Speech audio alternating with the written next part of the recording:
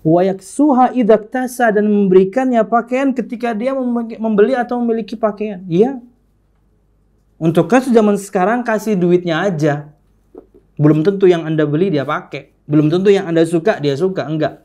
Kasih dia uangnya, kasih dia mentahannya, dek silahkan beli pakaian. Perempuan juga akan jauh lebih baik kalau misalnya, kak saya mau beli ini. Pian suka enggak? Wah suka, sip. Enak kan jadinya? Ya. Komunikasi.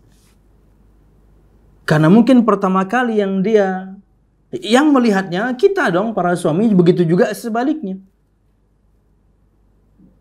Jadi kasih mentahannya. Tapi kalau Anda tahu sifat istri Anda, tahu bagaimana pakaiannya, tahu warna apa yang dia suka, tahu size-nya, belikan aja jadikan buat surprise juga boleh. Ini namanya muamalah, eh muasyarah dengan baik. Mempergauli istri dengan baik.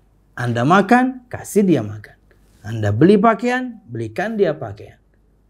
Anda tidak tahu kemudian bagaimana detail yang disukai istri Anda, kasih mentahannya. Suruh dia beli. Apalagi zaman sekarang tinggal online aja. Dan subhanallah sebagian atau banyak pedagang itu ya ini luar biasa baiknya kalau nggak pas bisa diretur. Nah, kan enak banget. Karena biasanya mungkin bisa jadi standar berbeda. Biasa pakai size XL. Ketika beli kok malah standarnya lebih kecil. Bisa ditukar. Nah, itu enak. Kalah di ongkos kirim doang sih. Ya. Wallahu alam bisawab. Terima kasih. Jazakumullah khairan wa barakallahu fikum. Video ini dibuat atas partisipasi dari donasi Anda.